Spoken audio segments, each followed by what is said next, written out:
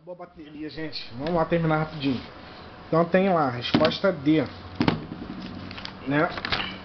Questão 6. Resposta. Cara, esse foco tá estranho. Questão 6. Resposta D. Diminuir um pouco o zoom. É, melhorou.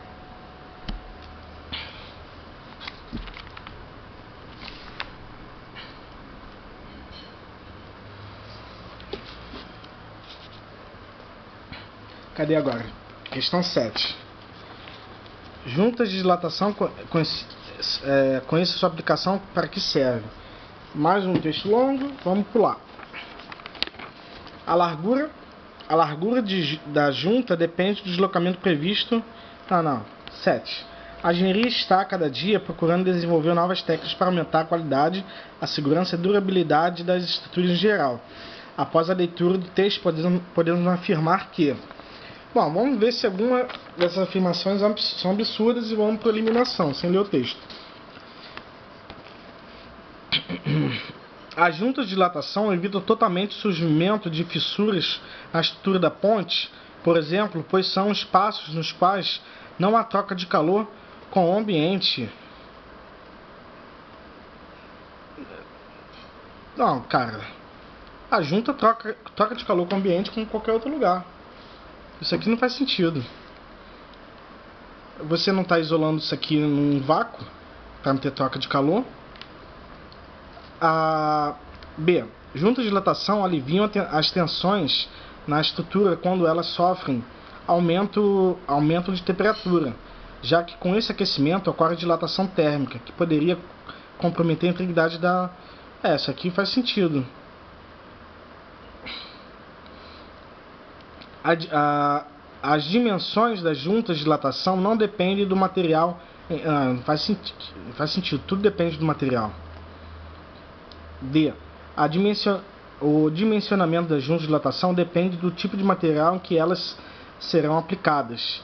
E independ, independentemente da variação de temperatura, errado. Vai depender da, da variação de temperatura. Você sempre constrói algo vendo a, a, como que o clima local se muda. E, e é, nem sempre as juntas são necessárias. Hã? Sempre é necessário, sempre vai ter. Não, então é, então é, é, é B. B. 7. Olha lá, você vê? Sem ler o texto, a gente, a gente já responde. Olha lá, só por lógica. 7B. Cara, a junta, junta diferente é um pouco diferente de, de você ter aberturas. A junta é como se fosse um material que você coloca entre, como se fosse um, um amortecedor é, que você coloca entre, entre as duas placas da ponte ou da estrada, entendeu?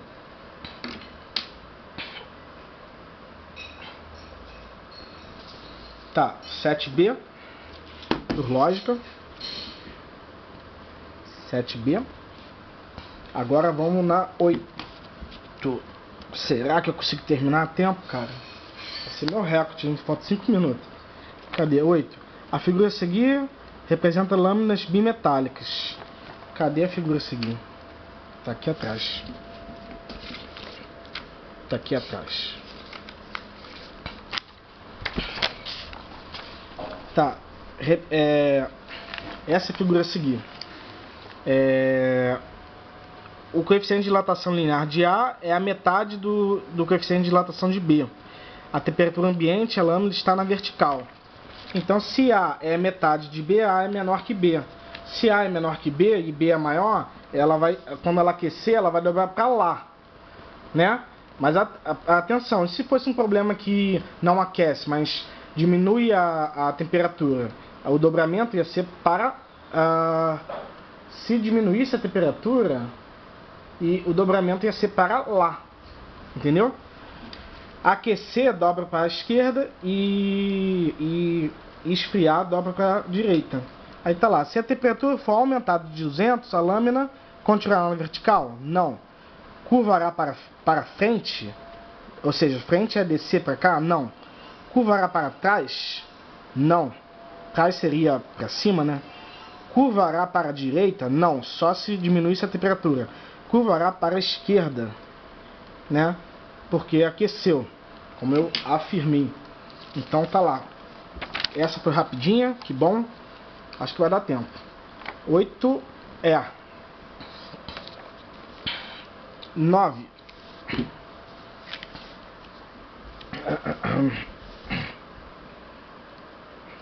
9 duas barras uh, duas, duas barras de material diferente A tem o mesmo comprimento a 20 graus Celsius. Colocando-se a barra A em um refrigerador e a barra B em um forno, elas atingem respectivamente menos 10 e 200, passando a apresentar diferença de 0,06 nos seus comprimentos, sendo os coeficientes de dilatação linear de A e B 22 10 a menos 6 e 3 10 a menos 6. Então o comprimento inicial é, das barras das barras a 20 é, é então gente você pode pensar cara você pode pensar como é que eu vou pensar como é que eu vou te explicar? É, como é que eu vou explicar? Você pode pensar naquela ideia de naquela ideia de, de dilatação aparente também aqui entendeu é, como é que eu vou, como é que eu vou colocar aqui? O, é 9 é B eu já respondi né? É 9 Vamos pensar em dilatação aparente que eu gostei, mesmo sendo linear. Você tinha aqui o corpo, o corpo A e você tinha aqui o corpo B que tinha o mesmo tamanho, não é? Isso aqui é semelhante a você ter um recipiente cheio de um líquido, entende? Só que quem vai fazer o papel de líquido é aquele que tiver menor coeficiente. Então é o é o B. B é o menor, que é 30 é 3, 10 a menos 6. E o outro é 22, 10 a menos 6. Entende? Aí que, que, aí que, que ele falou? Só que aqui, aqui vai ser uma brincadeira, aqui vai ser uma brincadeira diferente, né? Aqui a gente não está aquecendo e esfriando as coisas juntos. A, a, gente a gente está fazendo as coisas separadas. Ele falou que que pro ar ele ele ele botou o ar no refrigerador, então o ar vai diminuir, sei lá, vai para cá, e o B vai aumentar, sei lá, vai para cá, entendeu?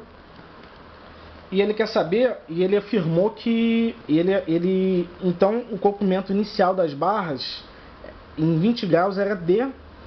Ah não, então isso aqui não, não rola, rola negócio aparente não. Não vai, não vai ajudar muito não. É, acho que não vai ajudar muito não. Deixa eu ver.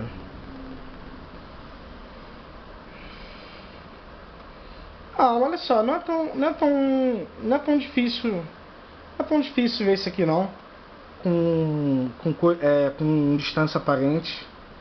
O que, que é distância aparente? É, ser, é, é a, é a difer, distância aparente e diferença entre uma barra e outra são a mesma coisa. Distância aparente vai ser a distância é, que o final é, vai ser a distância a, a, a distância que ele está do final para o inicial entende eu não sei é como se fosse é como se fosse você medir é, o quanto que os espaços entre eles aumentou. Ora o espaço inicial entre eles era zero porque eles estavam juntos. Então o, a dilatação linear aparente deles vai ser, vai ser completamente igual nova, ao, no, ao novo tamanho ao novo tamanho que a gente está medindo aqui, que é a pergunta do problema. Então esse aqui vai ser o delta, o delta L, o delta L aparente. Mas o delta L aparente vai ser igual a o delta L do do, men é, do menor do menor menos o delta L do maior.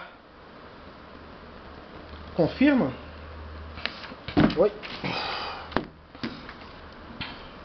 Confirma? O que acontece? É, se você for, se você for, é, se você for tranquilo, você vai prestar atenção que no, no, no exercício lá de cima eu, eu botei o maior menos o menor. Só que por que, que eu estou fazendo. Cara, por que, que eu estou fazendo isso aqui agora? O que acontece é o seguinte, é, como é eu vou explicar? Eu tô botando nessa nova ordem porque, porque aconteceu uma coisa invertida agora. O que era menor foi aquecido e o outro foi diminuído. Como o outro, como o outro diminuiu, o seu, a sua dilatação ela é negativa. E como eu estou vendo aqui da geometria que, que a dilatação aparente nada mais é do que a soma de um com a soma de outro, eu, eu preciso botar um sinal negativo do lado do ΔL maior para matar esse sinal do negativo.